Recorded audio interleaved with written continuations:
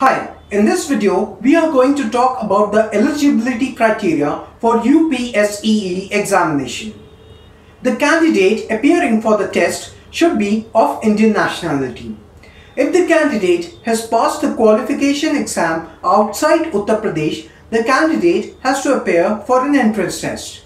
There is no age limit for a candidate to appear in the UPSEE. The minimum percentage in the qualifying exam should be minimum of 45% for gen general category and 40% for scheduled caste, scheduled tribes or people with disability.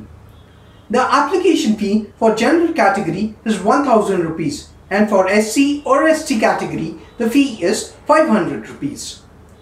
If you value the content of a video, please like, share and comment on our channel Youth4work.